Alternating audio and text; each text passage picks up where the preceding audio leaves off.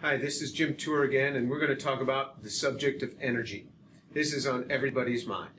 And what we've got to be able to do is we've got to be able to provide sustainable energy for the future. The problem is if we run off of purely renewable energies like, like oil, uh, uh, I'm sorry, like wind or solar, it's very tough to survive. We, don't, we can't generate enough from these. Uh, it, Germany tried this experiment over the last 10 years of building lots and lots of wind farms and solar, and it's just not enough. So there's a big pipeline going between, uh, being built between Russia and Germany to be able to supply energy to Germany. There was a recent town hall where one of the parties was supposed to come up with their ideas for the future. Uh, none of them came up with any real ideas, no, no technology. They just were critical of everybody else's idea. The amazing thing about oil is that you can put a 14 inch hole in the ground and a huge amount of energy comes out of that, all stored in the carbon hydrogen bond. Uh, and so what's done with oil and gas, though, is that you get combustion, you get a lot of CO2 in the air. And because of that CO2 in the air, uh, we're just filling up our, our, our, atmosphere with this. Now, one can argue, uh, is it really anthropogenic? Are people the responsible? Uh, is this because of people or is this because of natural effects? At this point, it really doesn't matter anymore. We've got to deal with this politically along with the scientific aspects of this. So wherever you are on this camp, we've got to deal with this problem. But there is a way to use oil and gas, to be able to use natural gas for energy with no CO2 emissions. So let me say that again. Fossil fuels with no CO2 emissions. Fossil fuels with no CO2 emissions. You say, how can that be done? Fossil fuels make CO2 and they, they, they mess up the environment. No, they don't have to. And there's a huge amount of energy already stored, and we can do it with zero CO2 emissions. This is practical, or else you're going to be, have to be building lots and lots of nuclear plants to sustain us. And, and these nuclear plants, uh, you'd have to build 6,000 of them or something, or some very large number, and nobody wants them in their backyard. You can't have enough wind, you can't have enough solar, and there's intermittency problems with these things. Batteries don't solve anything. Batteries are not an energy source, they're just an energy transfer source, meaning you have to charge up that battery. Well, what do you charge it with? Well, I plug it into the wall. Where, where did that energy come from that came out of the wall, that electrical energy? Usually it came from uh, the burning of natural gas, which spins a turbine and makes electricity, or it'll come from nuclear, a smaller percentage of it will come from wind and solar. You say, well, build, build more wind and solar, build more, more, more dams and things like that. You can't. There's just not enough uh, uh, that area for us to be able to do this practically. Here's how you can use fossil fuels with no CO2 emission. So right now, what's done is people take methane, CH4, and they combust this with oxygen and they go to CO2 plus water, carbon dioxide and water. So with that carbon dioxide and water, so, so we would have two waters here. This will afford 800 kilojoules per mole of energy. 800 kilojoules per mole of energy. Now that number is, is meaningless to most people. But let, let's, let's think about this for a minute. Just remember that number. We'll, we have that here and we'll compare it to another number. Another way that you could do this is you could take methane and you could convert it to a carbon solid plus two molecules of hydrogen. This is normal combustion. This is normal combustion. This is not. Normal combustion does this. In doing this, normal combustion will be blowing out 30 billion tons of CO2 per year into the atmosphere. 30 billion tons of CO2 per year into the atmosphere. That's a lot of CO2.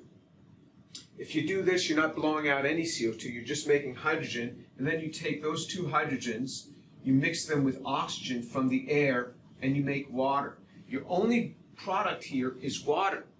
Only product here is water. There is no CO2 emission the energy content, these two reactions together, the energy content of this is about minus 400 kilojoules per mole.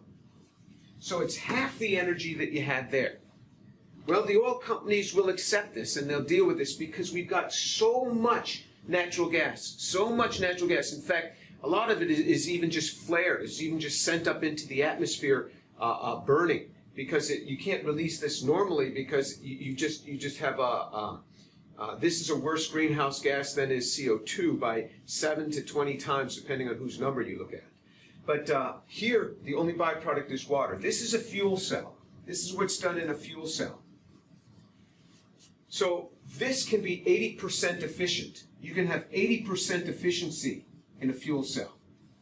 This combustion, normal combustion in a car on the highway is only about 25% efficiency. 25% efficiency, I'm, I'm sorry, in town, and about 35 to 40% efficiency on the highway. Why, why is the efficiency so low? Because combustion engines put out a lot of heat. Rather than driving you forward, they put out a lot of heat. It's part of the problem there. Uh, but in, in, a, in a fuel cell, you can have 88% efficiency. So yes, it's, it's thermodynamically half the energy, but you get some of it back because of the efficiency. The problem has been this that's the elephant in the room. What are you going to do with all of that solid carbon? That's the problem. What do we do with all of that solid carbon? This procedure was this this was developed even in the 1950s at 90% efficiency. But what are you going to do with all that solid carbon? Nobody knew. Well, we've got a new process to convert this into a compound called graphene.